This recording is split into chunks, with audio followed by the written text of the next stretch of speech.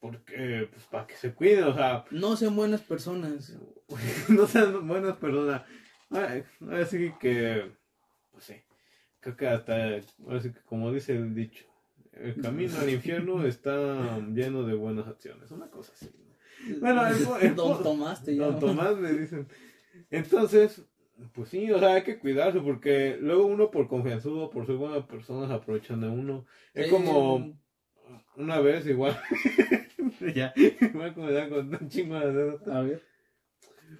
Pues íbamos viajando ahí por Veracruz, ahí por un camino como que medio montañoso así, bien selvático. Yo digo, yo me acuerdo que de chiquito ya no mames, por aquí yo creo que aparecían cuellos largos y esas madres. Don Tarzán ahí sale. Ahí salía el de este George de la selva. Y entonces, pues, ¿qué pasó? Que ahí vamos a usar un camino así con curva, culero, de esos donde, pues, si tú no estás acostumbrado, tú te vomitas, ¿no?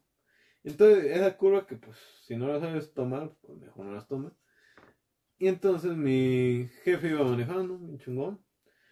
Y de repente, en medio de la carretera, hay un güey tirado así, tú, tirado, tirado. Como botado en- medio de la destapado, carretera. Sí, güey, pero Ah, botado en la madre. carretera. Y mi jefe como que se quería parar para tirar. Y mi jefa dijo, no, ni madre, no te pares. No te Eh, pares. sí, no. Y sí, porque yo he visto, creo que te saqué un episodio de Rosa de Guadalupe. Fue de mamada.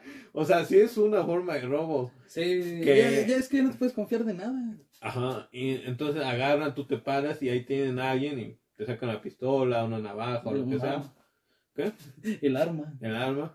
Ah, chica, pues, bueno, horrible, no sé. No. Cabrón.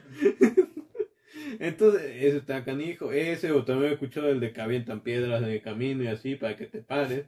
Sí. Igual, igual te roban el carro y así. O sea, tengan cuidado en las carreteras o si ven algo así raro, alguna actitud sospechosa, por muy buenos, muy buenas personas que sean, pues, mejor solo trata de ayudar a alguien que en verdad tú conozcas o que sea alguien muy conocido de alguien que tú conozcas. Y aún así yo dudaría.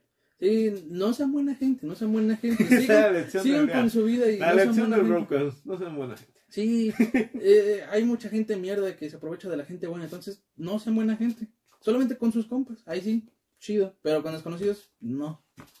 Y pues a veces quizás nosotros vamos a ser los que necesitamos ayuda de un desconocido y nos chingamos, pero pues ni modos, nos tocó ah, vivir en Latinoamérica y en México. Sí, no, pues hay que ser desconfiado. No, nunca Sí. seas así de que llegas y le voy a ayudar a la primera persona que sea. Mm, Es que es difícil, ¿no? Mm, Así que mm, con el paso de los años, la experiencia, como que queda ese criterio de decir, bueno, creo que ella sí necesita ayuda, pero aún así, Sí. nunca sabes cuándo te pueden jugar chueco.